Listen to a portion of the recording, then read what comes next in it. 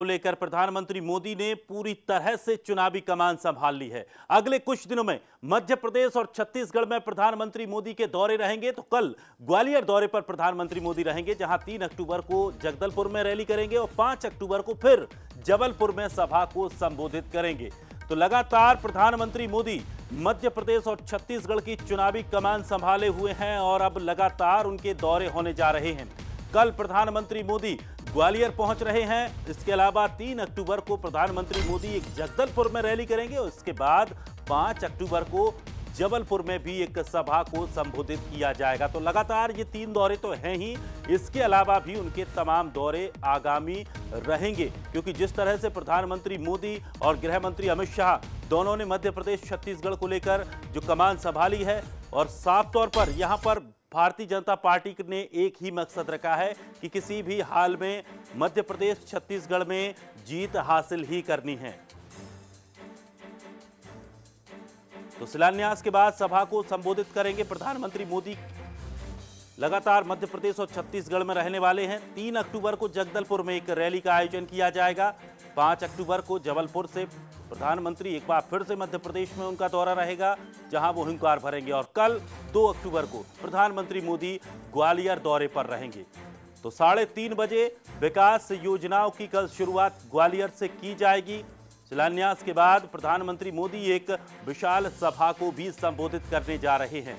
तो तीन अक्टूबर को जगदलपुर में रैली रहेगी और फिर उसके अलावा पाँच अक्टूबर को जबलपुर में रहेंगे। तो लगातार प्रधानमंत्री मोदी के ये दौरे रहने वाले हैं।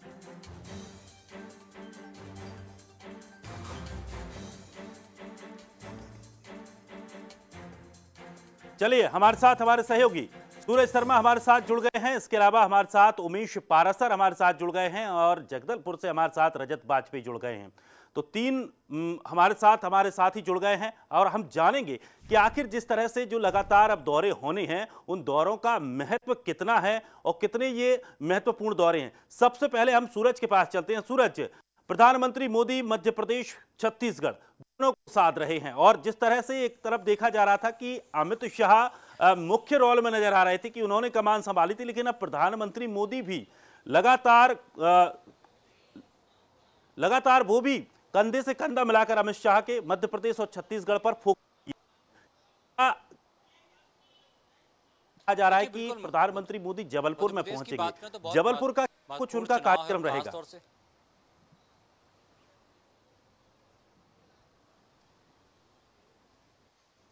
जी, सूरज। देखिए, बिल्कुल खासतौर से प्रधानमंत्री लगातार मध्य प्रदेश दौरे पर आ रहे हैं और हमने देखा है कई स्थानों पर अलग सभाएँ कर रहे हैं।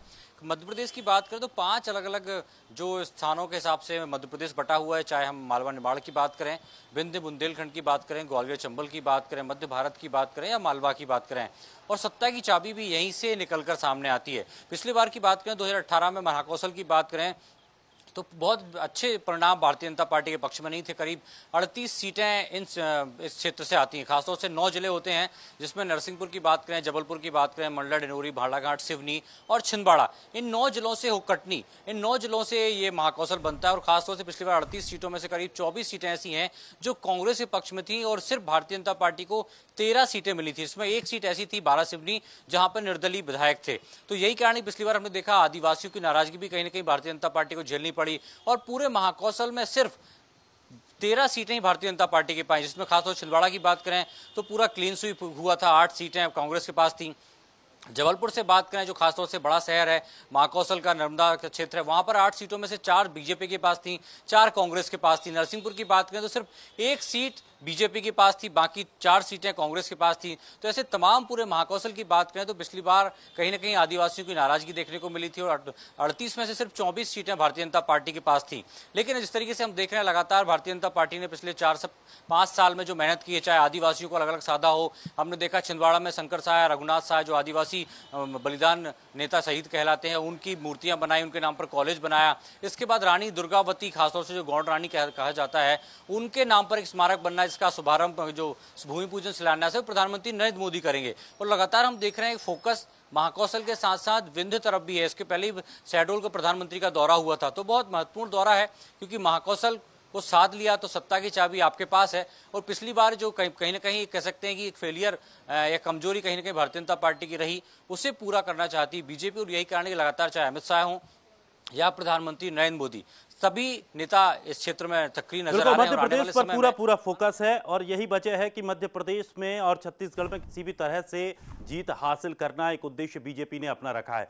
चलिए सीधे ग्वालियर चलते हैं। ग्वालियर में कल बड़ा कार्यक्रम होने जा रहा है। प्रधानमंत्री मोदी पहुँचेंगे।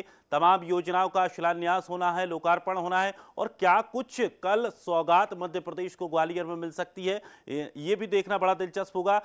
उमेश, किस तरह का कार्यक्रम है? तैयारियाँ किस तरह की हो चुकी हैं? और ये दौरा कितना महत्वपूर्ण रहेगा?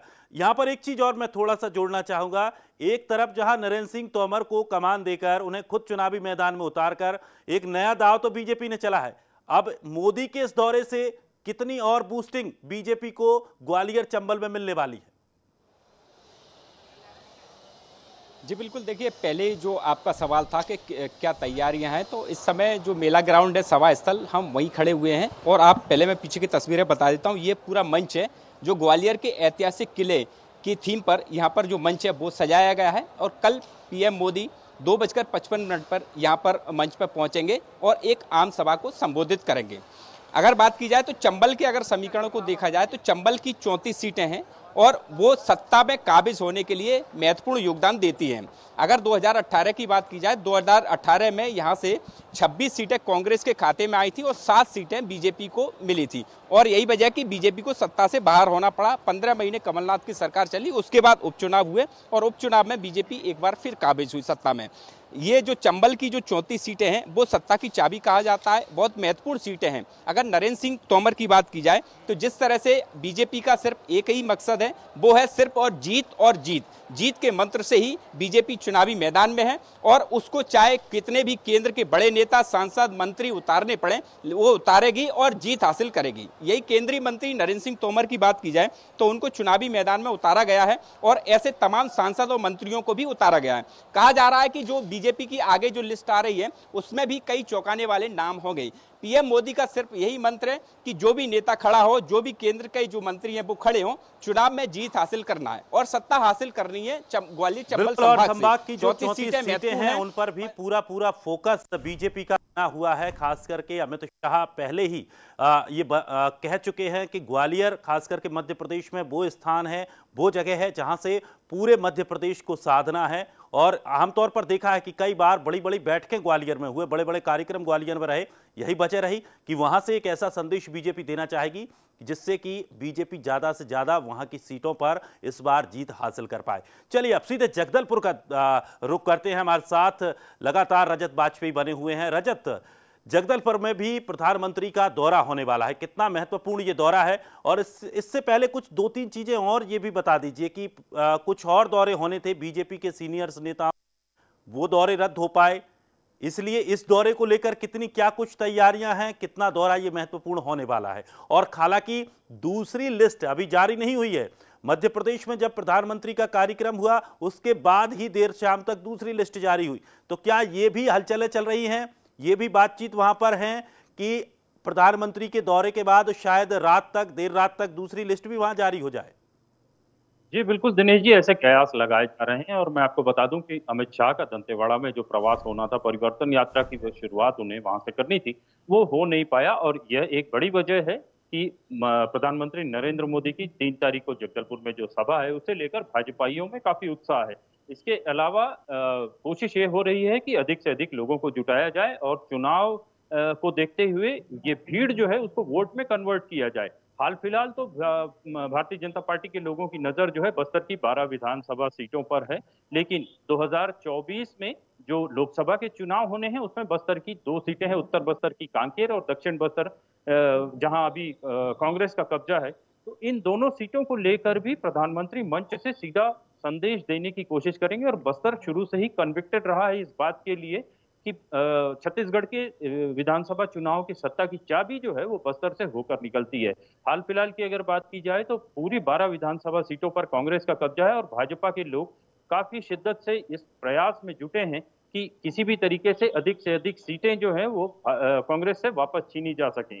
पिछले पाँच साल की अगर बात करें तो भाजपा की स्थिति वैसी नहीं है। कुछ सीटों पर काफ़ी सुधार दिखाई दे रहा है और प्रधानमंत्री के प्रवास को लेकर भाजपाइयों में ये उम्मीद है कि अधिक से अधिक सीटें जो है वो भाजपा की बिल्कुल और यही यही प्रयास है यही केंद्रीय गृह मंत्री अमित शाह की भी एक रणनीति का हिस्सा भी माना जा रहा है कि जिस तरह से उन्होंने पूरे जो दाव को सेट किया है किस तरह से एक एक कदम आगे चलना है कौन से दौरे महत्वपूर्ण हैं, किसकी कहाँ सभा करानी है, ये भी उनका एक प्लानिंग का हिस्सा है और शायद यही एक जीत की प्लानिंग उन्होंने तैयार की है। अब इसका कितना फ़ायदा मिलेगा, ये देखना बड़ा दिलचस्प होगा। फ़िलहाल शुक्रिया आप सभी का, सूरज हमारे साथ जुड़ने के लिए, उमेश हमारे साथ जुड़ने के लिए, रजत आपका भी बहुत बहुत शुक्रिया हमारे साथ जुड़ने के लिए। तो तेईस की रेस में अब मोदी ही सबसे बड़ा फेस है, चाहे मध्य प्रदेश हो, चाहे छत्तीसगढ़। लेकिन कितना ये कामगर होने वाला है, ये देखना दिलचस्प होगा। एक छोटे से ब्रेक के लिए रुक रहे हैं, जल्द वापस आएँगे।